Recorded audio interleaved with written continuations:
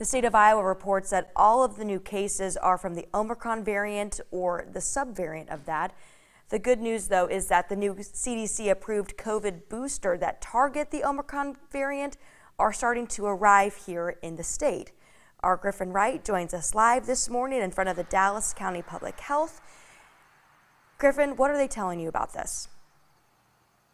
Well, so as soon, what they said was as soon as they authorized that new vaccine, they started shipping it out. So that's why we're starting to see it arrive at pharmacies and uh, county public health officials' offices around the state now. And that's going to continue over the next few days, really, and even week. It's going to become a lot more available, really, all over the state. But let's take a look at this new booster and how it differs from the past ones. Now, this one is just one shot, but it protects against both the original strain of coronavirus coronavirus and that most recent Omicron strain. And there are both Pfizer and Moderna versions of it. It also takes the place of any previous booster, so you don't have to get the previous boosters before this one. However, you do need to get that first series of COVID shots. So if you're completely unvaccinated, you'll need to get either the Pfizer, Moderna, or the new Novavax COVID vaccines before this updated booster. Now, everyone is eligible as long as they've had that first series of vaccines, and they also recommend that you wait at least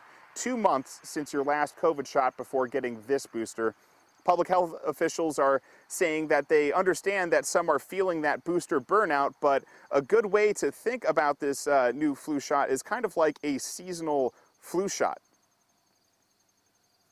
Initially, when vaccines were first coming out, there was tons of demand, um, but the supply wasn't there. So we were having kind of conflict there, and um, it was very exciting to see so many people wanting to get that vaccine.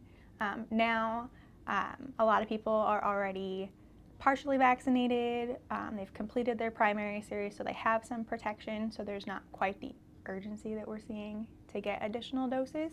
Um, and I think that a lot of folks are indeed getting burnt out by saying, oh, there's another one, oh, there's another one. So public health officials really want to stress that it is really important to get this booster to make sure you have the most immunity, especially as it gets colder. We're going to be indoors again. You know, it's that type of flu season. And uh, speaking of the flu, this is kind of a similar type of deal where it's a seasonal COVID shot. It's a seasonal COVID booster, seasonal flu shot type of thing like that. So uh, when it becomes more available over the next week, you can honestly get your flu shot at the same time, really, and just save a trip to the pharmacy that way and uh, do a lot to protect yourself and to protect others. Yeah, that's a good way to put that Griffin flu shot, COVID booster. And like you said, you just need those two initial COVID shots before you can get the booster. Thanks for that live report.